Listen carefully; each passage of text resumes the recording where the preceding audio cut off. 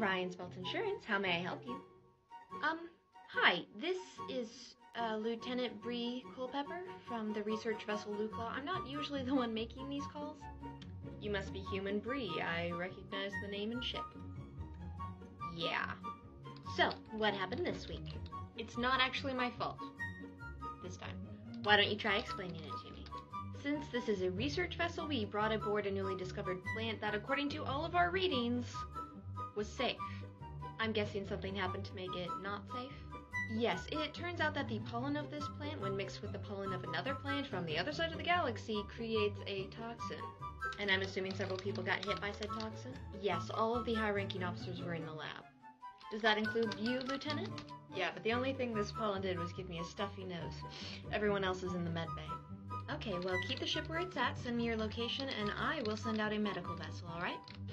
Thanks.